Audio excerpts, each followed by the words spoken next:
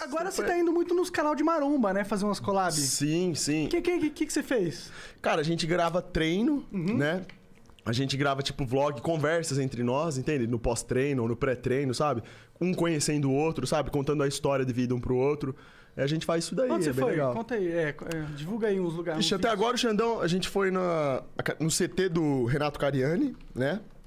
Renato Cariani brabíssimo. A gente foi na academia da Aqua, do Horse, monstro gigantesco, né? Leão da terra. É, conheci o Renanzão da Forfeit Club, brabíssimo também, muito gente boa. A gente passou um tempo muito da hora na casa dele. Ele tem. Puta, cara, ele é bem. É um cara bem legal. Exala uma energia muito boa. Os caras são bem da hora. Ah, conheci também o Ramon, dinossauro do Acre. Inclusive a gente treinou junto lá na Aqua, treinou o Xandão, Ramon, Renan e o Horse, né? Nós fizemos um treino lá de ombros em quatro pessoas. E aí isso tudo vai pro YouTube. É o que eu lembro paradas. agora, é esse, mas eu não sei se eu che- conheci o do Narizão também. Conheci, eu não sei se eu acho que eu devo ter conhecido mais alguns, mas por enquanto que eu me lembro foram, foram esses. Legal. Você acompanhava já os canais de maromba ou você. É, do canal de Maromba assim, eu acompanhava, o que eu mais acompanhava era o Renato Cariani, né? Tipo assim, 99% era o Renato Cariani que eu acompanhava, sabe? Pelo conteúdo, assim, a maneira como ele passava o conteúdo pra molecada, era um conteúdo muito bom Pô, relacionado legal, à vou ver esse cara pra ficar É mu- igual o Xandão. É muito Cara, eu tô, é eu muito tô legal. numa vibe de querer comer. Eu tô come- querendo começar a ficar menos gordo. Ah, que isso- essa história. e tá... aí, só que essa história é velha pra caralho, Pra porque eu tenho. Ela é velha, tão velha quanto o Flow, eu acho. Ela é um pouco mais velha que o Flow. e a- é, eu não sei, cara. Eu acho que eu preciso de um. Eu preciso, primeiro de tudo, começar a acordar bem, tá ligado? Eu sempre Sem acordo. dúvida. Pra acordar bem, tem que dormir bem. Pois é. Ah, e ele não conseguia dormir bem durante muito tempo. Mas tadinho. isso é. Essa questão assim relacionada à musculação, a progredir o seu corpo, tá tudo relacionado também, né? É um processo. Você precisa cuidar do seu corpo, começa na alimentação, no descanso e no treino, entendeu? Se você quer evoluir o seu físico, se você quer perder peso, né, criar massa muscular, algumas pessoas só querem perder gordura, entendeu? Pra perder gordura não tem segredo. Você faz uma dieta hipocalórica, você consome menos calorias do que o seu corpo gasta e aí faz uma atividade física, sai pra correr, sai pra caminhar, progressivamente você vai perder peso. É matemática, isso não tem erro. Agora, se você quer criar massa muscular, o processo é complexo, entendeu? Você vai ter que colocar uma alimentação boa, você vai ter que comer bem, entendeu? Pra ser consentânea com aquilo que você vai gastar de caloria no treino, você vai ter que chegar forte no treino pra poder romper suas fibras e construir massa muscular na hora do descanso. que Você vai ter que ter quando chegar na sua casa de noite, dormir bem, porque é na hora que você dorme que você tá crescendo, seu corpo tá se recuperando, tá se regenerando, entendeu? Então é todo um processo, entende? Começa desse jeito. Então, assim, eu, ah, cara, eu acho muito válido isso daí. Eu acho muito legal uma pessoa. Eu acho que a pessoa, tudo começa assim, né? Quando ela percebe, assim, aqu- aquela questão de novo, quando ela percebe da importância que ela tem como pessoa, ela percebe que quando ela cuida de si mesma e tudo começa na alimentação, num treino, né? Ela consegue ser melhor ainda, ela evolui ainda mais. É um nível à frente que ela vai, entendeu? E tudo começa assim, nessa parte de se cuidar do seu físico. Entendeu? E consequentemente também, né, do seu interior. Porque se você se alimenta bem, não é só o físico da parte de fora que acrescenta, da parte de dentro também agrega, entendeu? Pros seus órgãos e tudo, sabe? Então é assim que funciona. Eu acho bem legal isso daí, velho. Deveria começar, cara. Eu acho que você vai gostar. Vou começar, eu tô. Eu vou procurar um personal trainer. Eu não preciso de personal trainer. Não precisa, não, pô. Se você quer só pra se alimentar bem. Hoje na internet você tem muito conteúdo bom, sabe? Você consegue aprender a comer. Comida não tem segredo, cara. É o básico, entendeu? É arroz, feijão, é frango grelhado, carne grelhada, peixe pode comer, você entendeu? Legumes, salada, tudo você pode comer isso daí, entendeu? Pega uma suplementação legal, um whey protein, uma creatina, tá show. Já é um puta de um começo, entendeu? É assim que é. Vai treinando, sabe? Começa a criar o Não, hábito. mas ó, eu já comecei, porque assim, como eu sou sedentário há muitos anos, Sei. aí eu já fui no, no cardiologista, já fui no nutrólogo, já fui no.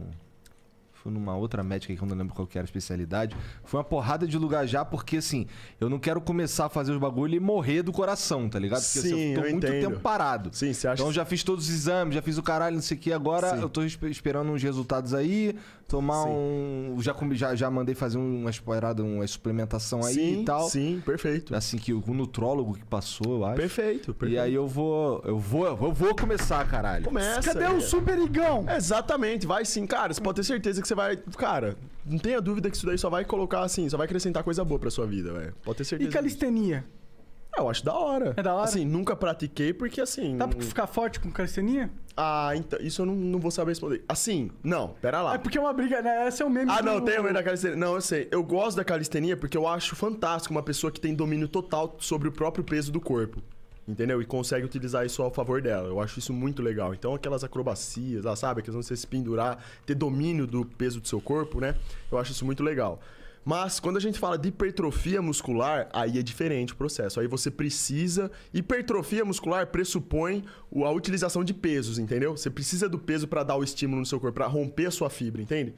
Para gerar assim uma situação de desconforto pro seu corpo, para você conseguir machucá-lo a ponto de depois, né, através da sua alimentação recuperá-lo, entendeu? E gerar hipertrofia, é um processo. A calistenia, ela pode, ela vai te deixar forte até um certo ponto.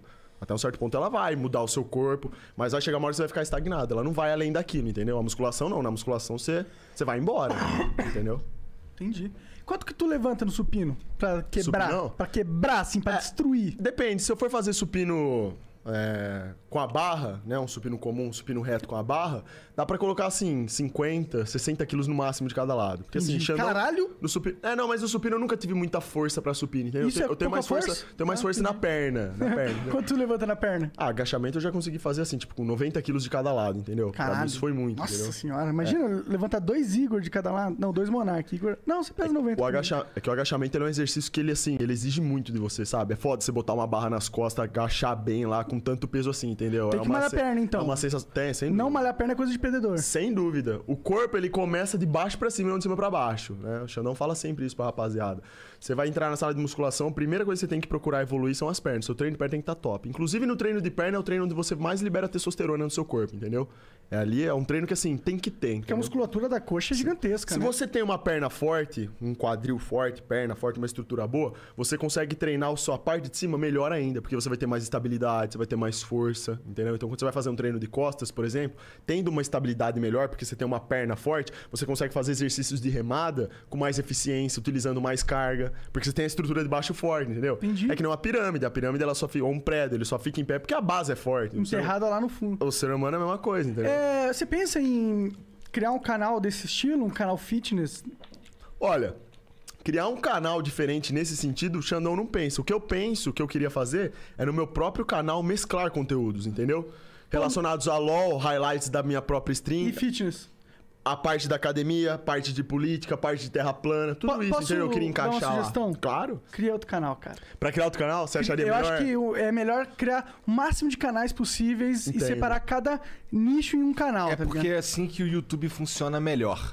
E no- mas assim, é, isso realmente faz sentido, mas não fica muito mais trabalhoso também, por outro lado? Não, a mesma É, coisa. Ou você acha que é a mesma, mesma coisa? É porque aí você é, usa o algoritmo pra você. Quanto mais é, inputs no algoritmo você tiver, melhor. Entendi. Então, se você tem uma base no algoritmo de- da sua audiência, Sim. É, olha, é legal. Mas se Sim. você tem três bases diferenciadas, é, é- é a mesma audiência, mas você cresce três canais, dentro do algoritmo você tem uma base muito melhor do que se você tivesse um canal E só. tem um outro ponto Entendi. também. Imagina que um cara entra no teu canal pra ver o conteúdo fitness.